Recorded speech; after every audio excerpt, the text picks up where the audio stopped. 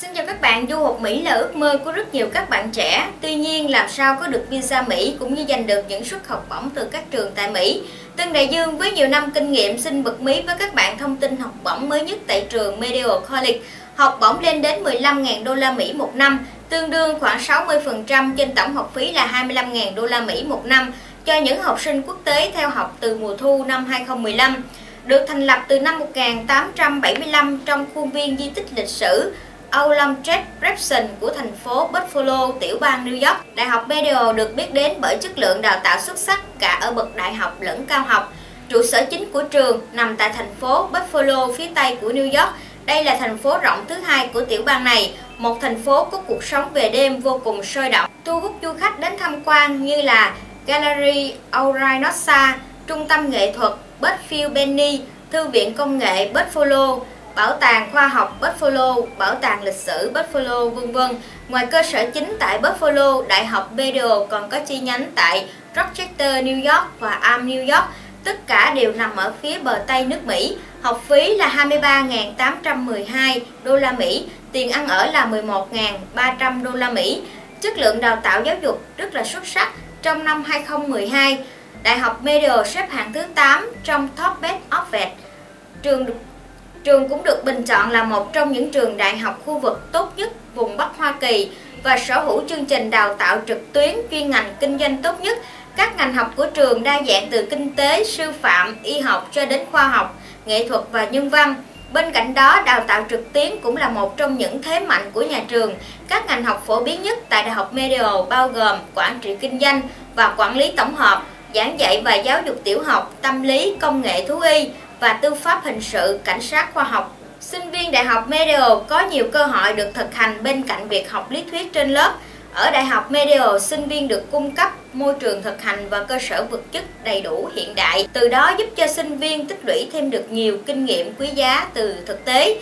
Ngoài học tập, thể thao cũng là một trong những điểm mạnh của nhà trường. Medal là một trong những thành viên sáng lập của Hiệp hội Thể thao Houston, được gọi tắt là AMCC. Các thành tích đạt được như là vô địch bóng rổ nữ AMCC năm 2004, 2005, 2005, 2006 và 2009, 2010. Vô địch bóng đá nam trong các năm như là từ 2005 cho tới 2010 và đội bóng chày của trường Medal đã giành chức vô địch cũng vào năm 2007 thì khu ký túc xá của trường được trang bị hiện đại và tiện nghi, đem đến cho các bạn sự trải nghiệm tuyệt vời khi sống và học tập tại đây. Trong ký túc xá có dịch vụ gia sư dạy kèm, dịch vụ y tế vân vân để hỗ trợ các em khi cần. Thì để chi tiết hơn về chương trình của trường, các bạn hãy liên hệ ngay tư vấn viên tại địa chỉ là 148 1 Trần Quang Khải, phường Tân Định, quận Nhất và hai địa chỉ còn lại là ở quận 5 và Nha Trang. Chúng tôi không có văn phòng ở Hà Nội. Xin chào các bạn, khi phỏng vấn xin visa Mỹ thì các bạn sinh viên luôn là lo lắng thì không biết những câu hỏi nào thường gặp khi đi phỏng vấn Mỹ thì nhiều bạn lại cũng là rất là lo lắng không biết sẽ được hỏi về vấn đề gì nên trả lời ra sao. Thì trong chương trình hôm nay chúng ta hãy cùng chia sẻ với bạn Vũ Phong đến từ thành phố Hồ Chí Minh, quận Bình Tân sẽ chia sẻ những cái kinh nghiệm thực tế tại sao là có được visa Mỹ. Xin chào Vũ Phong. À, Vũ Phong có thể giới thiệu đôi nét về bản thân của em cho các bạn biết được hay không? Chào các bạn, mình tên là Vũ Phong, năm nay mình 19 tuổi. Mình uh, hiện tại thì mình đang học uh, tiếng Anh ở trường uh, Châu Mỹ để chuẩn bị cho cái uh, chuyến đi du học của mình. Um, sau khi mình học uh, ở đây thì mình rất là tự tin về tiếng Anh của mình để mình đi phỏng vấn. Thì qua Mỹ, Vũ Phong học chương trình gì? Uh, mình sẽ học uh, tiếng Anh ở trường FLS International khoảng một năm và tiếp sau đó thì mình sẽ học uh, uh, quản trị nhân sự tại trường uh, Citrus College 2 năm sau khi kết thúc uh, chương trình tại Sirius mình sẽ uh, học uh, đại học tại uh, viện đại học UCLA để hoàn thành cái hệ cử nhân của mình.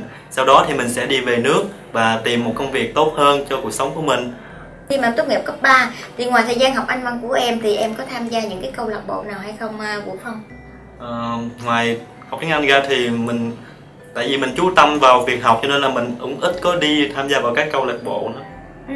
Thì rất là nhiều trường tại Mỹ thì Vũ Phong à, tại sao lại chọn cái trường này?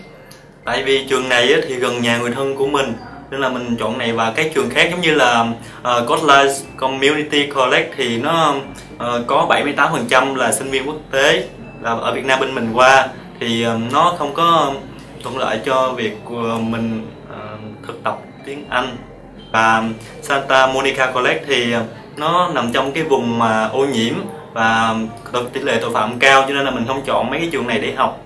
Uh, mình học ở Cali cho nên là thời tiết ở bên Cali rất là dễ chịu rất là giống với thời tiết ở Việt Nam. Nên uh, đây là một lý do để mình chọn ở Cali để học.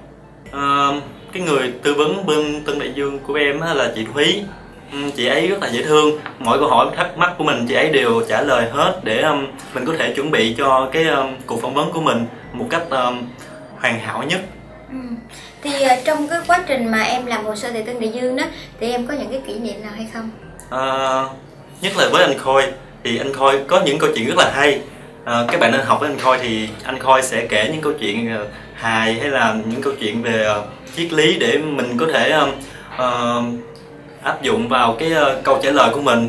Còn một người nữa là đó anh là anh Bảo Anh cái buổi cuối á, thì mình um, sẽ học với anh Bảo Anh cho nên là anh đó sẽ tóm tắt những thứ mà mình cần um, phải uh, chuẩn bị khi mình đi phỏng vấn. Là về cái việc uh, uh, mình sẽ làm như thế nào để mình đi phỏng vấn mình sẽ thể hiện ra sao để đi phỏng vấn. Và còn rất là nhiều điều để hay mà uh, anh Bảo Anh đã dạy cho em. Ừ.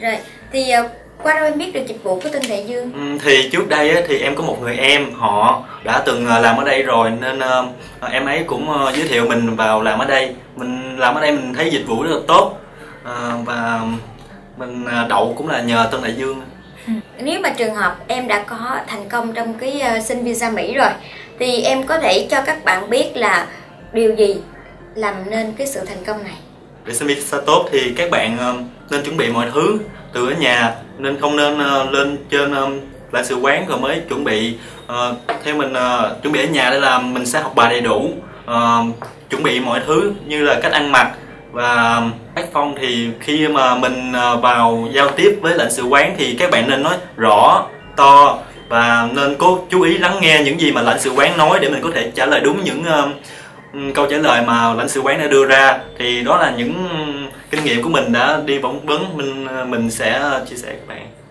Nếu như mà bạn em có muốn ờ, đi du học thì tất nhiên là em sẽ ờ, giới thiệu bạn của em vào công ty Tân Đại Dương ờ, để có thể làm hồ sơ và thành công giống như em. Ừ. thì Tân Đại Dương xin cảm ơn những cái chia sẻ thực tế của Vũ Phong. Tân Đại Dương xin chúc cho Vũ Phong qua Mỹ học tập thật tốt. Dạ cảm ơn chị